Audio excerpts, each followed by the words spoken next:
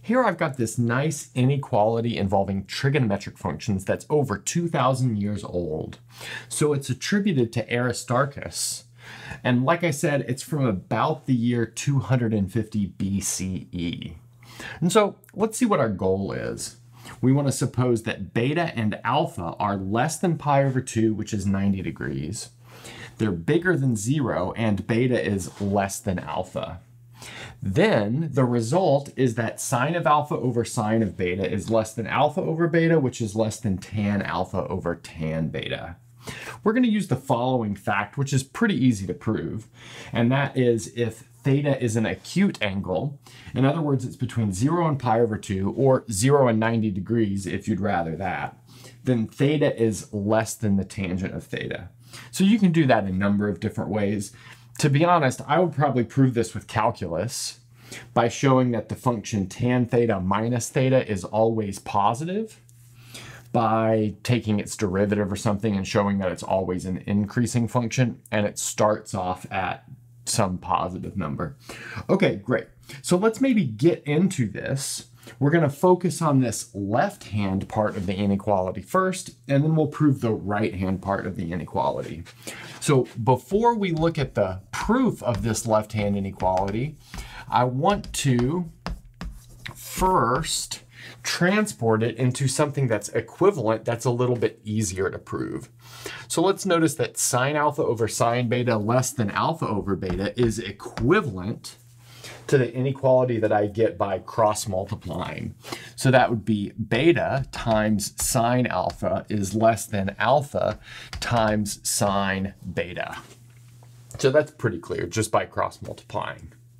Next, I can subtract the same thing from both sides of this inequality, and I have not changed its truth.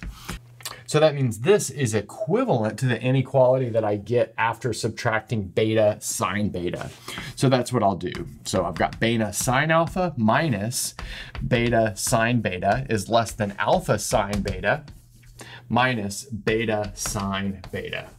So what did I do there? I just subtracted beta sine beta from both sides. Now I can factor out a greatest common factor from both sides. So the greatest common factor here is beta, and I'll have sine alpha minus sine beta. And then the greatest common factor here is sine beta. So I've got sine beta times alpha minus beta. Next, I'll kind of rewrite this so that I have like terms dividing each other. So by like terms, I mean this sine alpha minus sine beta and alpha minus beta. Those seem pretty similar. And then the same thing with sine beta and beta. So that means this is equivalent to, let's see the order I want to do, do it in. Sine alpha minus sine beta over alpha minus beta being less than sine beta over beta. So just to reiterate, what we've done is taken our goal inequality and said that our goal inequality, or at least the left-hand side of our goal inequality, is equivalent to the following inequality. Okay, so now let's get to proving this following inequality. And we're going to do it by starting with this left-hand side. So here I'll just put note that this sine of alpha minus sine of beta over alpha minus beta. Well, if we look at that, geometrically, what's going on there?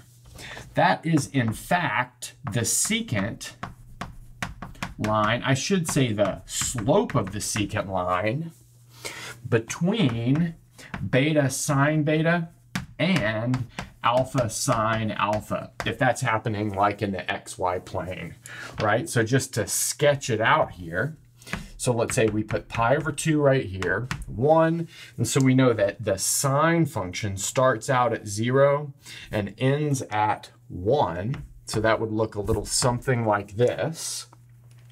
And then we've got alpha bigger than beta.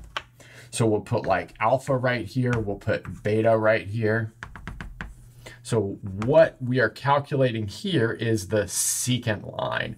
So that would be like the slope of that orange line. let's recall that from calculus, and I know it's a little bit cheaty to use calculus here because this was developed way before calculus was invented. But you know, I, I'm gonna do it with calculus. That's just the situation. So by calculus, we know that this is equal to the tangent line for some value between beta and alpha. So the tangent line is given by the derivative with respect to x of sine of x evaluated at x equals gamma, where this gamma is on the open interval alpha to beta. So like I said, that's the mean value theorem. So slope of tangent line is equal to slope of secant line. So where is that gamma? Well, all that's guaranteed is that it's between alpha and beta. But in this particular setup, it looks like it might be right about here. So if we transpose that up, we see that the tangent line is approximately parallel to the secant line right there. Okay, but we know something about the derivative of sine. It's equal to cosine. Then we plug in gamma and we see that this is equal to the cosine of gamma. Okay, but then cosine is a decreasing function on the interval 0 to pi over 2. So let's just maybe sketch that out.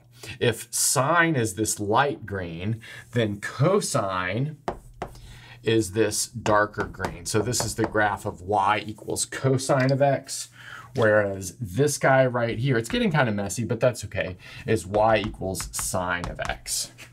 So like I said, cosine is a decreasing function, but gamma is on the interval. I just realized this should have been switched, beta to alpha, which means cosine of gamma is less than cosine of beta. But now cosine of beta is equal to sine of beta over tangent of beta. So notice that like everything important cancels out. Tangent is sine over cosine. Those sines cancel and the cosine flips up to the numerator. Now we can apply this fact. So we know theta is less than tangent theta. But that means 1 over theta is bigger than 1 over tangent theta. So we can put the appropriate inequality here and have sine of beta.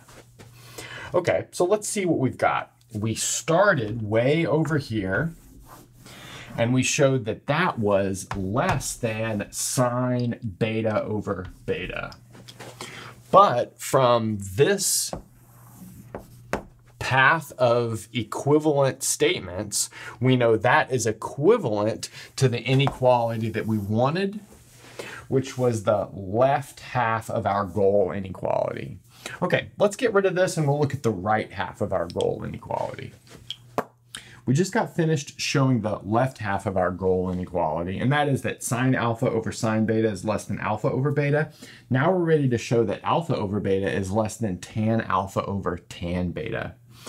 And I've streamlined this part of the proof a little bit, but sometimes I think it's nice to see something that's super streamlined without a bunch of restarts and stuff like that after picking up certain facts. So let's start with the left-hand side of this inequality, alpha over beta. Then we're going to do a classic trick, which is to add zero to the numerator. So I'm going to add zero in the form of alpha minus beta plus beta over beta. So I think we can all agree that those are the same. But now I can pull these apart into two fractions. This is the same thing as alpha minus beta over beta plus the number one. Again, I think we can all agree that that is clear. Next, we want to apply our fact. So alpha minus beta is less than tangent of alpha minus beta. And how do we know that? Well, if beta is less than alpha and they're both less than pi over 2, then that implies that alpha minus beta is also less than pi over 2. That's pretty easy to see. So that means we can replace this numerator with tan alpha minus beta. So we've got tan alpha minus beta over beta plus 1 in the next step, like that. Okay. But now we can replace tangent of alpha minus beta with sine over cosine.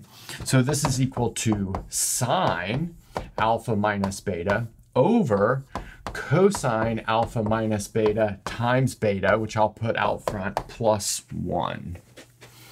Next up, we will apply the difference angle formula to sine of alpha minus beta.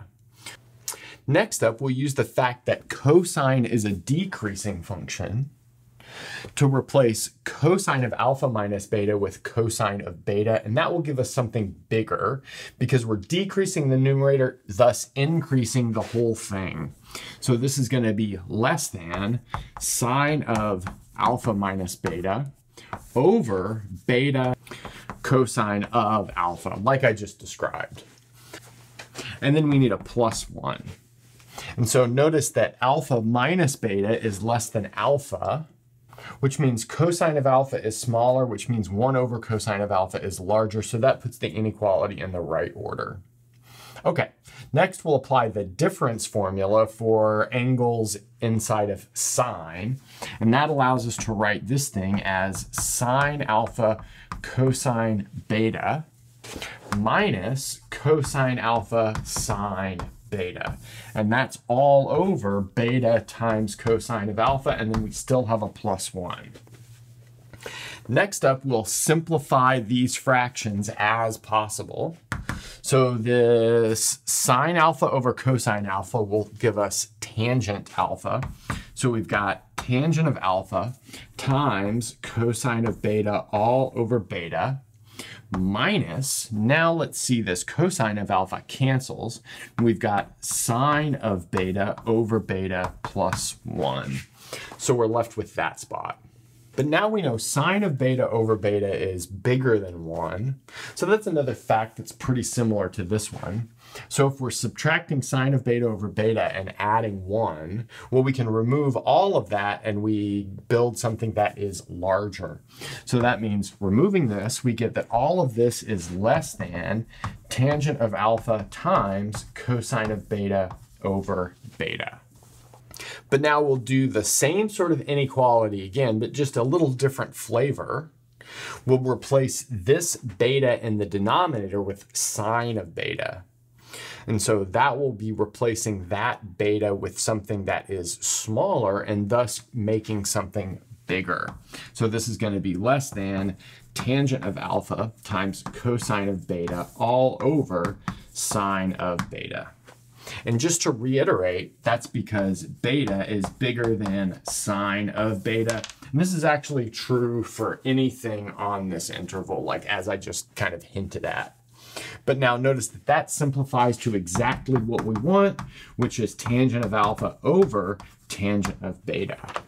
So looking at the extreme right-hand side, one of the inequalities in the middle, in the extreme left-hand side, we see that we've arrived at the right half of this inequality.